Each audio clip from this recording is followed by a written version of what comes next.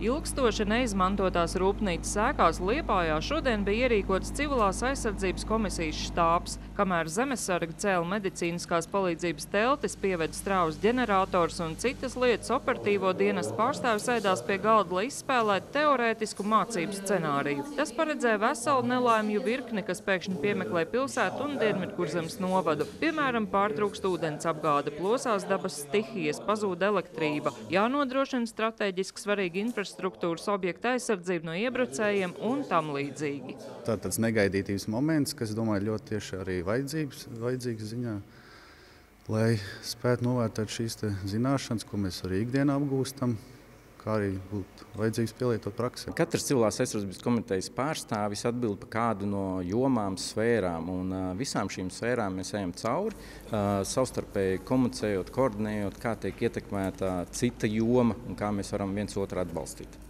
Mācību mērķis bija izvērtēt, kā un cik ātri civilās aizsardzības komisijas spēja atrisināt dažādas situācijas, kā operatīvie dienas sadarbojas savā starpā un ar militārajām struktūru vienībām. Dienas laikā notika arī attālināta saslēgšanās ar citu kurzemes pašvaldību civilās aizsardzības komisijām, taču ko tur pārunāja plašsaziņas līdzekļiem pagaidām neatklāja.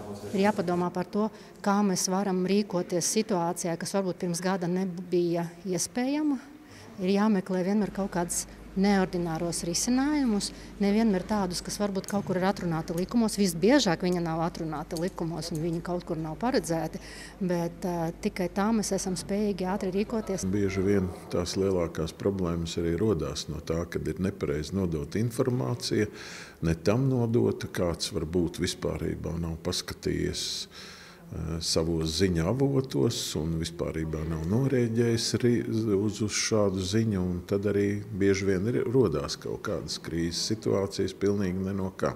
Zemesargi uzsver, ka no iepriekš rūpīgi izstrādātiem scenārijiem būs atkarīga pašvaldība un dažādi iestāžu rīcības spēja reālā krīzes situācijā. Šodien aizvadītās civilās aizsardzības mācības šogad bija plašākās kurzemē, un to rezultāti tiks rūpīgi izvērtēt, lai zinātu, kādas prasmes vēl jātrenē nākamajās mācībās. Ines Ķester, Dāvids Birulis, TV Kurzeme.